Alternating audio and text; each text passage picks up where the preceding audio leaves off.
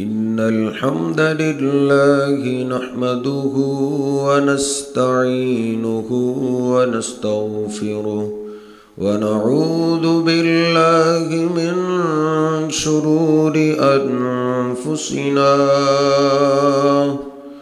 ومن سيئات أعمالنا. من يهده الله فلا مضل له ومن يضلله فلا هادي له. أشهد أن لا إله إلا الله وحده لا شريك له. وأشهد أن محمدا عبده ورسوله. اللهم صل على محمد وأزواجه وذريته كما صليت على آل إبراهيم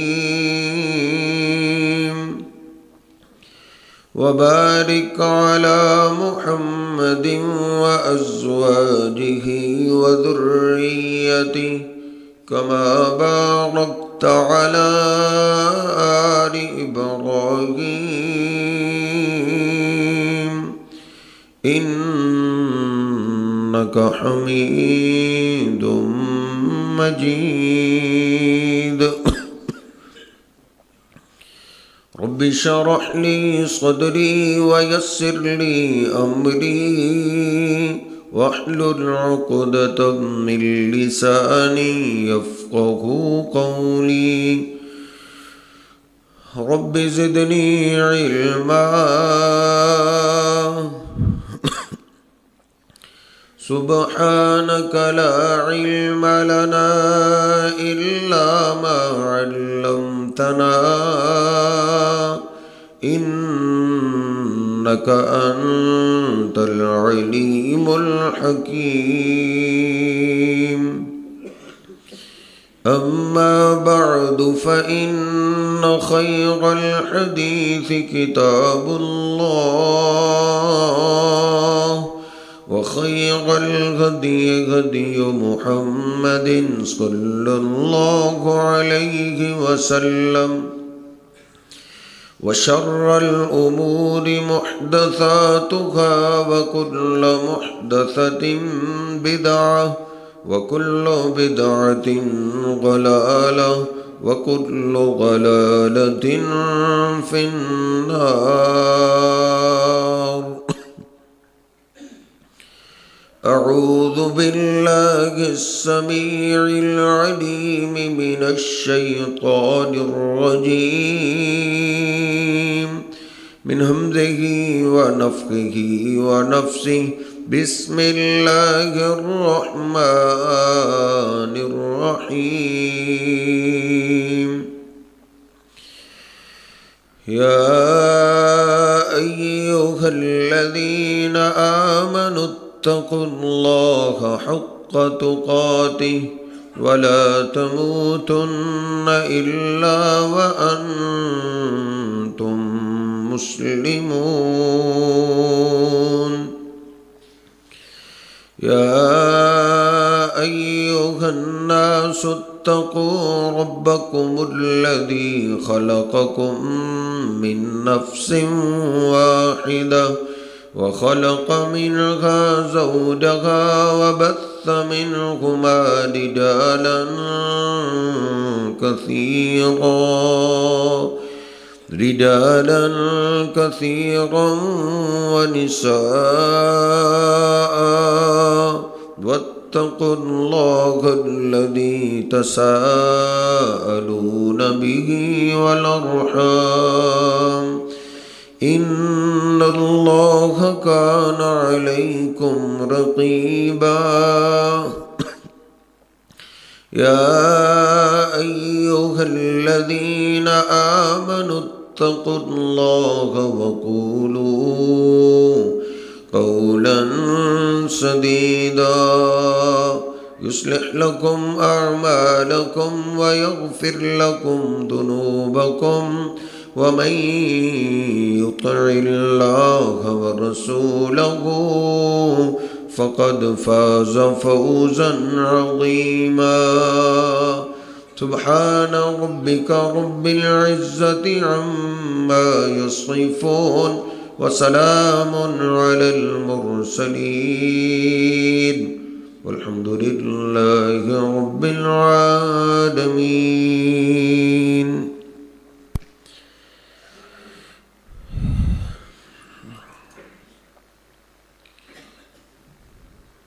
بخاری شریف میں یہ حدیث پاک موجود ہے جو مسلسل ہم سماعت فرما رہے ہیں کہ نبی پاک صلی اللہ علیہ وسلم نے سورج گرہن والے دن گرہن کی نماز ادا کرنے کے بعد خطبہ ارشاد فرمایا۔ آپ نے فرمایا، اے محمد صلی اللہ علیہ وسلم کی امت کے لوگوں لو تعلمون ما اعلم، لزحکتم کلیلم ولبکیتم کثیرا۔ جو میں جانتا ہوں وہ تم جان لو تو تمہاری ہنسییں کم ہو جائیں اور تمہارا رونا زیادہ ہو جائے۔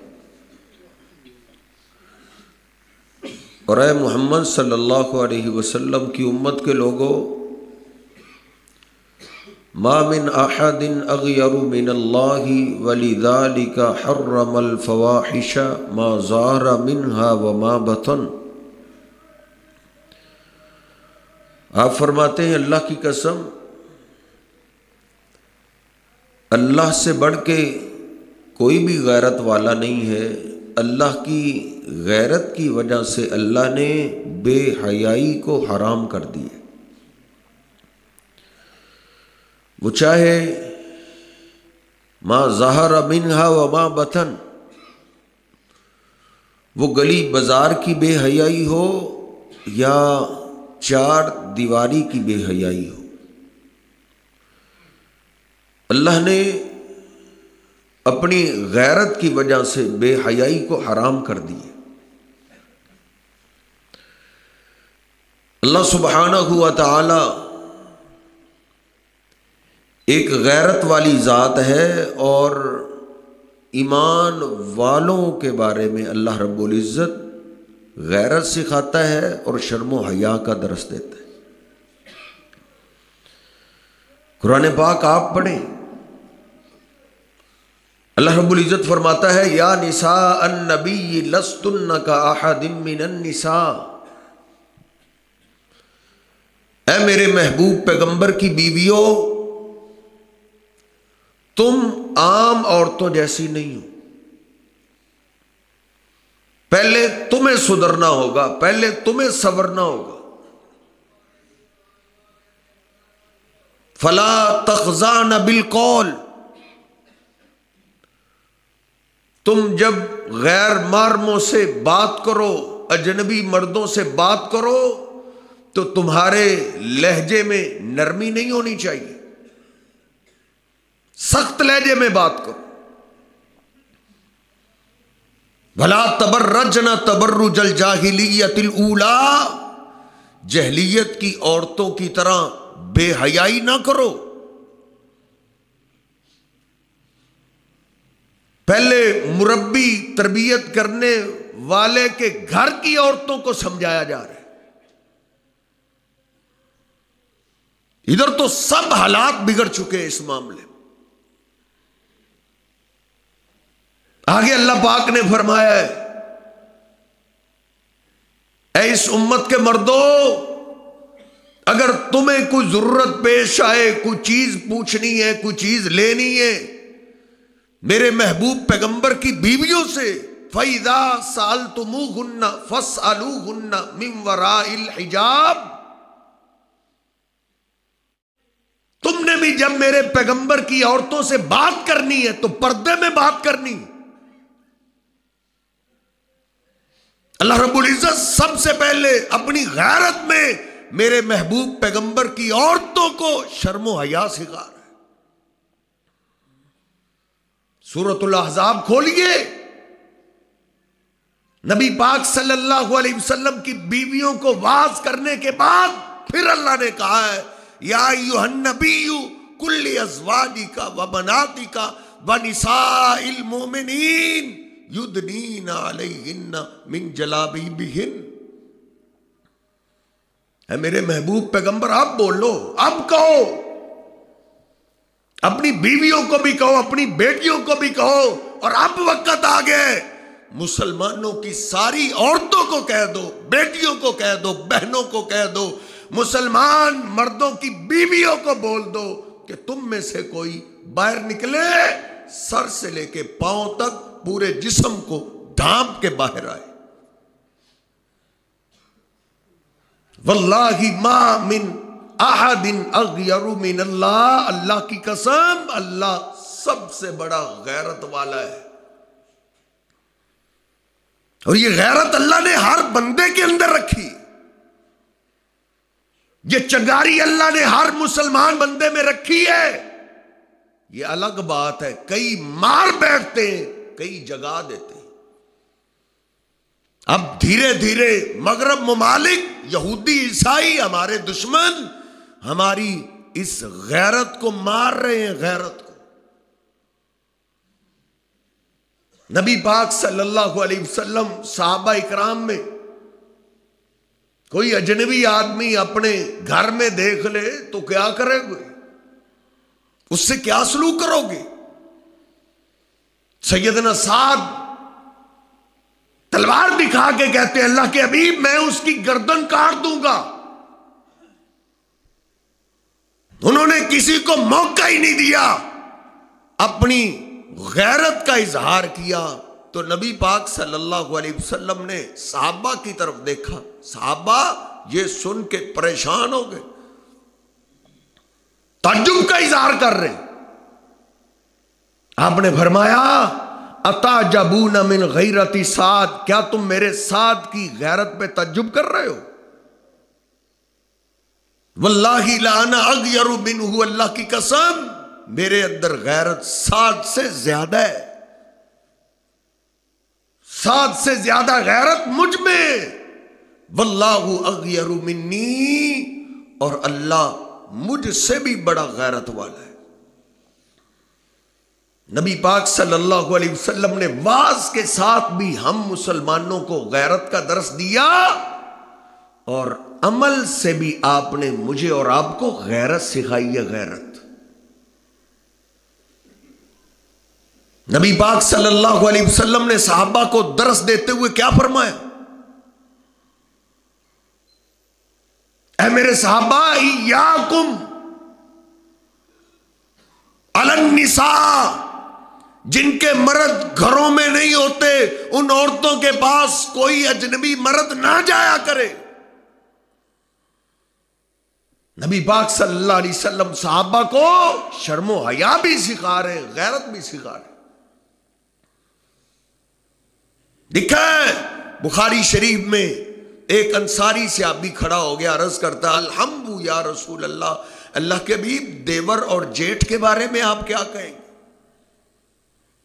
یہ تو مجبوری ہے، اس کی اجازت ملنی چاہیے۔ غیرت والے ہمارے محبوب پیغمبر نے کیا فرمایا؟ الحمد الموت یہ جو قریبی رشتہ دار ہیں، یہ تو موت ہے، موت۔ دیور جیٹھ کے لیے بھی کوئی اجازت نہیں، یہ تو موت ہے۔ شیطان نے حملہ کر دیا، بھائی بھی گیا، عزت بھی گئی۔ نہ دنیا رہی، نہ غیرت رہی، نہ آخرت رہی۔ نبی پاک صلی اللہ علیہ وسلم نے صحابہ اکرام کو بیانات سے بھی غیرت سکھائی اور عمل سے بھی غیرت سکھائی۔ نبی پاک صلی اللہ علیہ وسلم گھر میں تشریف فرمائے۔ اتفاق سے دو بیویاں آپ کے پاس ہیں، دونوں آپ کی بیویے باہر سے اجازت طلب کی گئی۔ اللہ کے ابیب عبداللہ بن ام مختوم سے آپ بھی آیا ہے۔ آپ نے اجازت دی۔ اچانک آپ نے نکاح پھیری۔ تو آپ نے کیا دیکھا؟ آپ کی بیویوں نے پردہ نہیں کیا تھا۔ سب سے اعلی اخلاق والے محبوب پیغمبر کا چہرہ غصے سے سرخ ہو گیا۔ جس کے اخلاق کی گواہی اللہ دیتا ہے۔ جس محبوب پیغمبر نے پتھر کھا کے بھی غصہ نہیں کیا تھا۔ طائف کے سنگ دل لوگوں پہ پتھر کھا کے بھی دعائیں دینے والا میرا محبوب پیغمبر، جن کے اخلاق پہ اللہ کہتا ہے ان لالا خلو کن عظیم۔ میرے حبیب، آپ جیسا اخلاق کسی کا نہیں۔ نہ پہلے کوئی ایسے اخلاق والا آیا، نہ بعد میں لیکن ادھر معاملہ غیرت کا ہے۔ تیرے گھر میں تیرے بتیجے آئے، تیرے بھانجے آئے، تیری بیٹیوں نے پردہ کیا ہے۔ اگر نہیں کیا کیا تیرے چہرے پہ غصے کے اثرات دکھائی دیے؟ اگر غصہ آیا تو یہ غیرت اور ایمان کی نشانی ہے، نہیں آیا تو اس غیرت کی چنگاری کو بیدار کیجیے۔ نبی پاک صلی اللہ علیہ وسلم غصے میں آپ نے فرمایا، میرا صحابی عبداللہ بن ام مختوم آیا ہے اور تم نے پردہ کیوں نہیں کیا؟ عرض کرتی، اللہ کے ابھی ہوا عام لا یبصرون۔ دیکھو تو صحیح، وہ تو نبی نے۔ اس کو تو دکھائی نہیں دیتا۔ نبی پاک صلی اللہ علیہ وسلم نے کیا فرمایا؟ آپ کے گھر میں تو نبی نہ آیا تھا۔ تیرے بتیجے تیرے بھانجے اندھے۔ ان کو تو دکھائی بھی دیتا ہے۔ ہماری بیٹیاں پھر بھی پردہ نہیں کرتی اور ہمارے کانوں میں جون تک نہیں ریگتی۔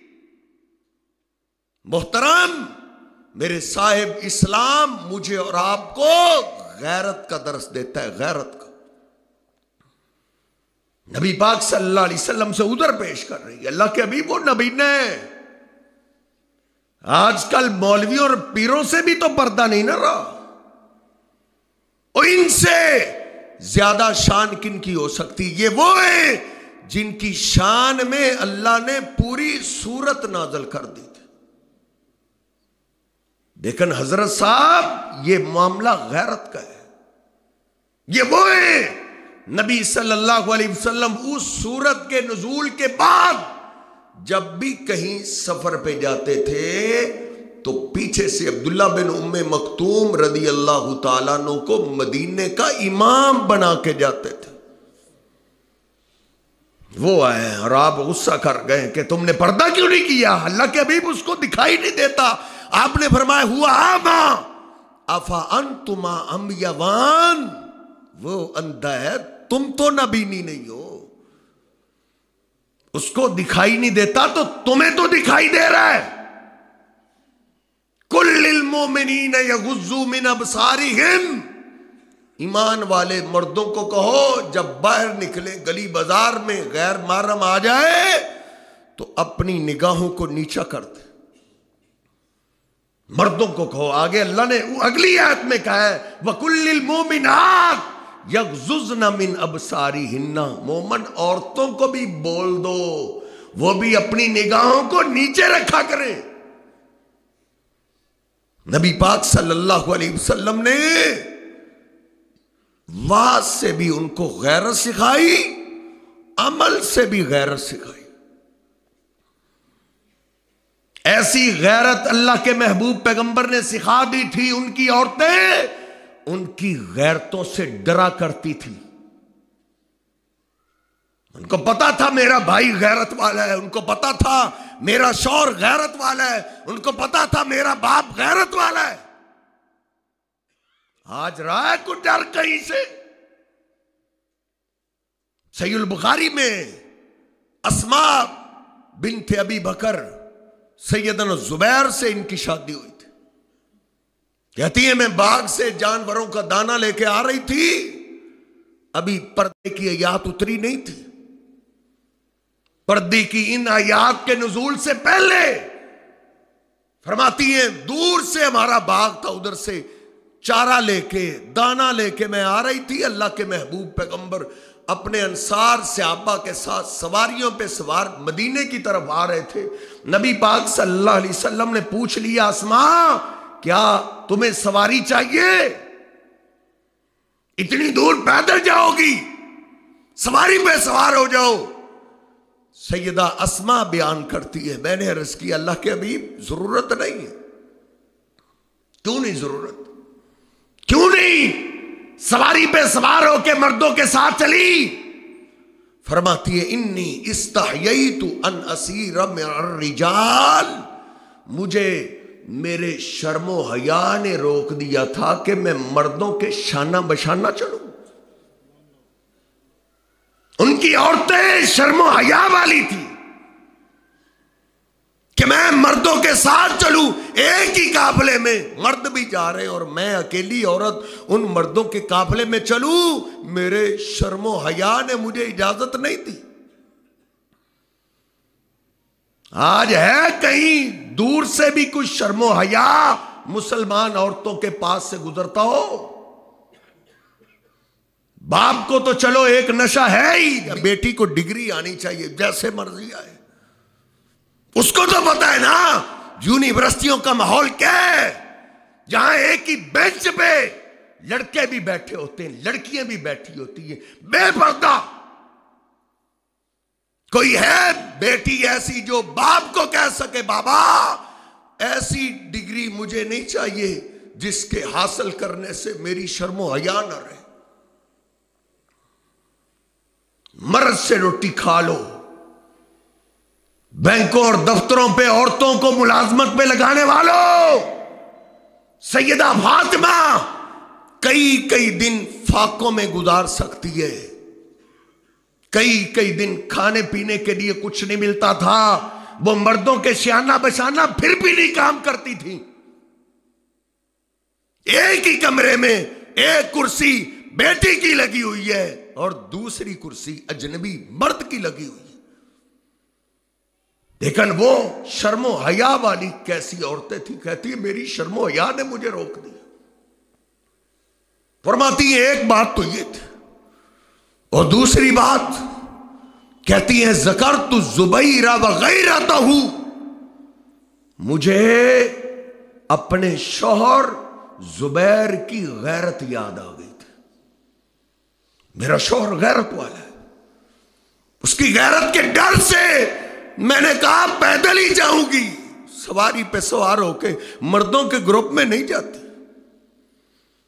وہ ایسے غیرت والے تھے کہ ان کی عورتیں ان کی غیرت سے ڈرا کرتی تھی نبی پاک صلی اللہ علیہ وسلم نے صحابہ اکرام کو یہ غیرت کا درس دیا۔ آپ بھی غیرت والے تھے۔ ایک سیابی کہتے ہیں، سنن نبی دابوت میں لکھا ہے کہ جمعے کی نماز کے بعد اچانک لوگ باہر نکلے، عورتیں بھی۔ نبی پاک صلی اللہ علیہ وسلم بھی ادھر سے باہر نکلے۔ آپ نے دیکھا مرد اور عورتیں اکٹھی جا رہی آپ نے گلی میں کھڑے ہو کے یہ غیرت والا ہمارا محبوب پیغمبر ہے۔ گلی میں کھڑے ہو کے نبی پاک صلی اللہ علیہ وسلم نے باز کیا اور آپ نے فرمایا علیہ کنہ بحافات الطریق۔ او مسلمان عورتوں، ایمان والی عورتوں، مردوں میں نہ چلو، تم سائڈ پہ چلو۔ مردوں کے درمیان مخلوط ماحول تمہارا نہیں ہونا چاہیے۔ آج کل یورپی ممالک یہی تو کر رہے ہیں۔ وہ یہی تو کر رہے ہیں، مردوں عورتوں کو اکٹھا کر دو۔ جب یہ اکٹھے ہو جائیں گے، غیرت مر جائے گی۔ جب غیرت مر جائے گی، ان کی جس مرضی بیٹی بہن کی عزت کو نیلام کرو۔ جب غیرت نہیں رہے گی تو کون پوچھے گا؟ اس لیے ایمانداروں کو چاہیے اپنی غیرت کو بیدار کرے، مخلوط ماحول سے نکلے۔ ہمارے میرج حال بھرے ہوئے۔ پہلے کبھی دیواریں ہوتی تھی، اب تو دیواریں بھی آہستہ آہستہ ختم ہو رہی اکٹھا ہی چلے۔ اور یونیورسٹیوں کی ڈگریوں کی دھند میں لینے والے، کبھی کبھی یونیورسٹیوں کو دورہ کیا کر ادھر کیسے استوں کو نیلام کیا جاتا ہے؟ بہاول پور کی یونیورسٹی جہاں پانچ ہزار ویڈیو برامد ہوئی ہیں، پانچ ہزار بھیڑیے رہتے ہیں، بھیڑیے! جو ہماری بیٹیوں اور بہنوں سے کھیلتے ہیں۔ اور ادھر نمبر دیے جاتے ہیں اپنی مرضی کے۔ جو مانے گی، اس کو ہی نمبر ملتا ہے۔ ذہانت پہ نہیں ملتا۔ اب تو کس سے یہ بات چھپی رہ گئی ہے؟ کدھر گئے وہ بھیڑیے مدارس اور مساجد پہ بکواس کرنے والے؟ سندھ کی وہ کلی اور بچی جو میڈیا کے سامنے آ کے رو پڑی، اس نے کہا بیٹیاں خودکشی نہیں کرتی، یہ درندے مارتے۔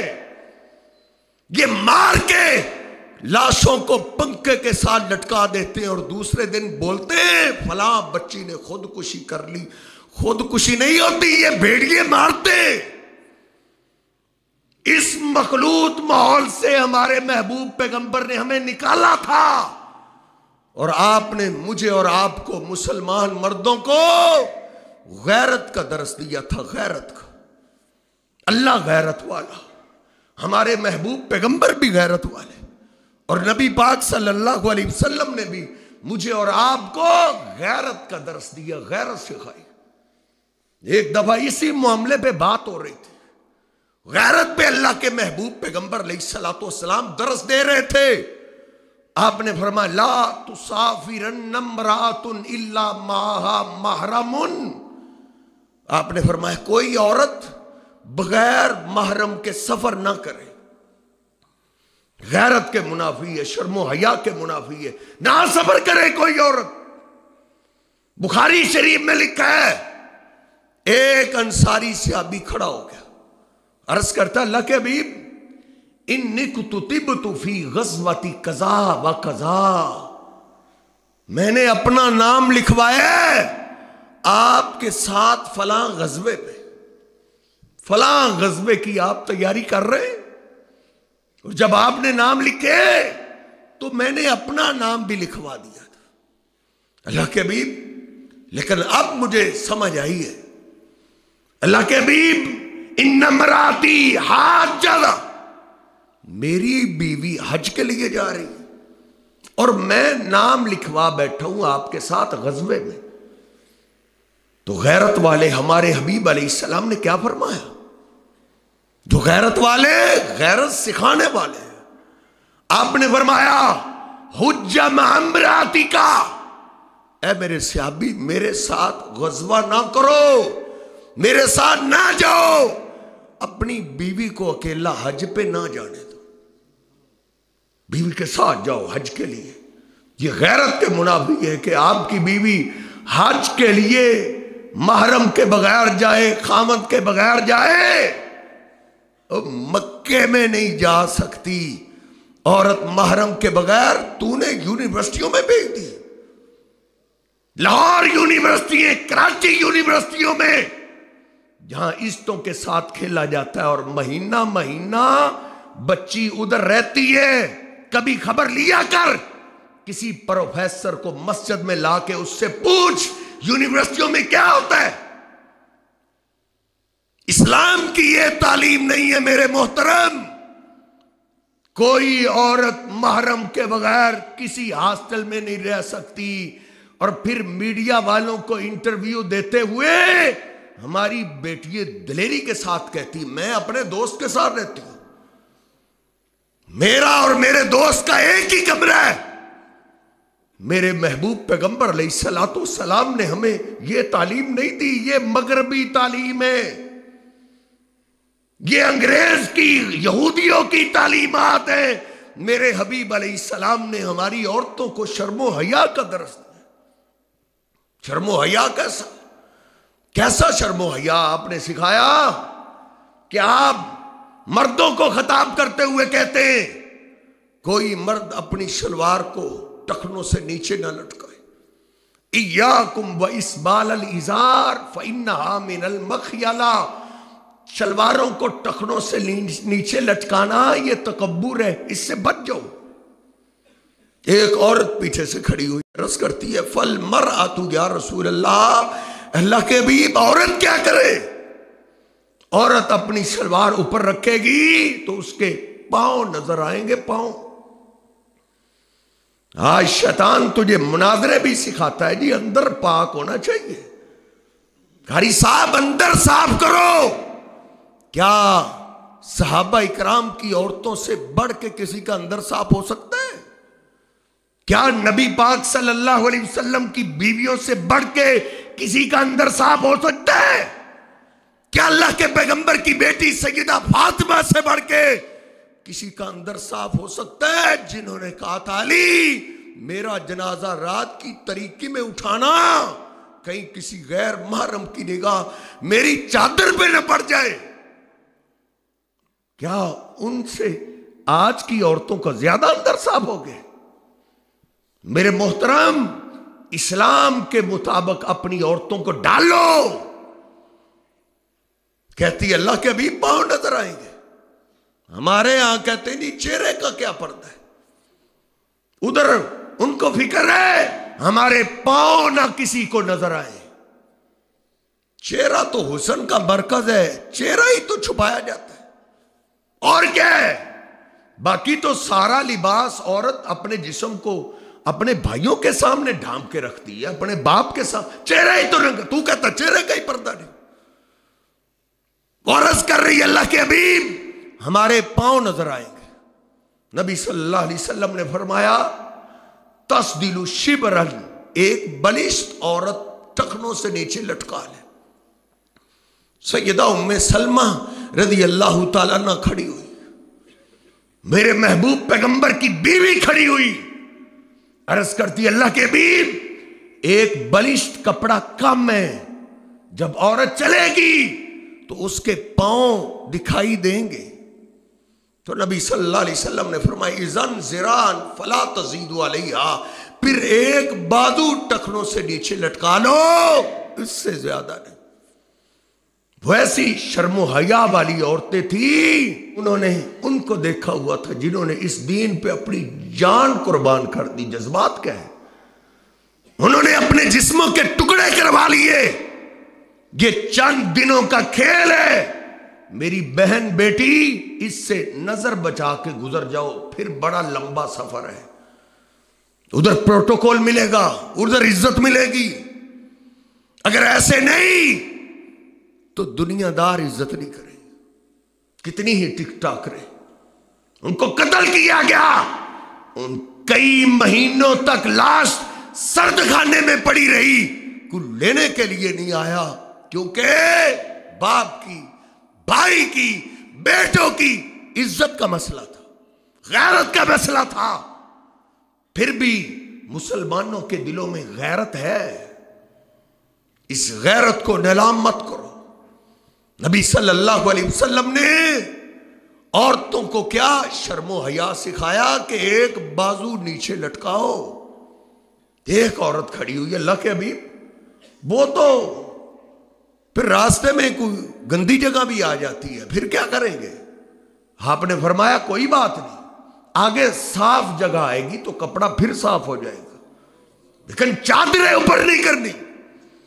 اس لیے میرے محترم نبی پاک صلی اللہ علیہ وسلم نے ہمیں غیرت کا درس دیا ہے، غیرت کا بیان سے بھی، عمل سے بھی۔ میں نے آج سی البخاری میں پڑھا ہے، پانچ جگہ نبی صلی اللہ علیہ وسلم گھر میں کنگی کر رہے اچانک آپ کی نگاہ دروازے کے سوراخ پہ پڑی۔ لگا جیسے کوئی دروازے کے سوراخ سے کوئی دیکھ رہا ہے۔ آج کل تو کوئی آ بھی جائے تو کوئی مسئلہ ہی نہیں۔ آپ نے دیکھا جیسے کوئی اجنبی آدمی میرے دروازے سے اندر جھانک رہا ہے۔ نبی صلی اللہ علیہ وسلم نے فوراً نیزہ اٹھا لی۔ نیزہ اٹھا کے اس سوراخ سے حملہ کیا۔ وہ ایک دم پیچھے ہٹ گیا۔ نبی صلی اللہ علیہ وسلم غصے سے باہر نکلے۔ آپ نے فرمایا، اگر تم کھڑے رہتے تو میں تیری آنکھ ضائع کر دیتا۔ تجھے جرت کیسے ہوئی ہے؟ تم بغیر اجازت کے میرے اندر گھر میں دیکھ رہے ہو۔ یہ نبی پاک صلی اللہ علیہ وسلم کی غیرت تھی۔ صحابہ اکرام کو آپ نے غیرت سکھایا۔ نبی پاک صلی اللہ علیہ وسلم فرماتے ہیں، جنت میں اللہ نے مجھے جنتی شہداء کے محلات دکھائے۔ میں دیکھ رہا تھا۔ اچانک میں نے ایک سونے کا محل دیکھا جس میں موتی جڑے ہوئے۔ میں رک گیا۔ میں نے پوچھا، لمن حاضل کسر حدیث کے الفاظ آپ فرماتے زنن تو انی آنا ہوا۔ آپ فرماتے، میرے دل میں خیال یہی تھا کہ یہ سب سے خوبصورت محل آپ کا ہوگا۔ میں نے پوچھا، لمن حاضل کسر وہ جنتی ہو یہ اتنا خوبصورت محل کس کا ہے؟ انہوں نے بتایا لی رجل من قریش۔ یہ ایک قریشی آدمی کا ہے۔ نبی صلی اللہ علیہ وسلم فرماتے ہیں، میں نے بولا، آنا قرشی میں قریشی ہوں۔ لمن حاضل کسر بتاؤ یہ محل کس کا ہے؟ تو آپ فرماتے مجھے بتایا گیا، دی عمر ابن الخطاب، یہ عمر فاروق کا محل ہے۔ نبی صلی اللہ علیہ وسلم فرماتے عمر، بڑا خوبصورت محل تھا۔ دل چاہا کہ اس محل میں انٹر ہو جاؤں۔ دیکھوں جو باہر سے اتنا خوبصورت ہے، وہ اندر سے کتنا خوبصورت ہوگا۔ آپ فرماتے عمر، جب میں دروازے پہ پہنچا، تیرے محل کے سین میں میں نے تیری عورت کو دیکھا، تیری بیوی کو دیکھا۔ زکر تو غیرت کا یا عمر عمر، دیکھتے ہی مجھے تیری غیرت یاد آ گئی، پھر میں ادھر سے ہی پلٹ پڑا۔ سیدنا عمر فاروق سنتے ہی پھوٹ پھوٹ کے رونے لگا۔ بی ابی انت و امی یا رسول اللہ آلئی کا اغارو یا رسول اللہ اللہ کے حبیب میری ماں آپ پہ قربان ہو جائے میرے باپ قربان ہو جائے اللہ کے حبیب آپ نے اندر چلے جانا تھا کیا میں آپ پہ غیرت کھا سکتا ہوں آپ کا دل چاہ رہا تھا تو آپ نے اندر سے بھی کہا نہیں عمر تیری غیرت کا مسئلہ ہے اور غیرت ایمان کا مسئلہ ہے اس لیے میرے محترم نبی صلی اللہ علیہ وسلم نے صحابہ کی عورتوں کو شرم و حیا کا درس دیا، مردوں کو غیرت سکھائیے ان دونوں چیزوں کا آہستہ آہستہ فقدان ہو رہا ہے، ختم ہو رہی ہیں۔ اللہ کرے مسلمانوں میں یہ دوبارہ پھر غیرت، جاگ پڑے، شرم و حیا واپس آ جائے۔ تو عزت وہی اللہ آج بھی واپس لٹا سکتا ہے۔ اللہ رب العزت مجھے اور آپ کو سمجھنے کی توفیق عطا فرمائے۔ وقول کو لہٰذا استغفر اللہ علیہ ولکم ولی سائر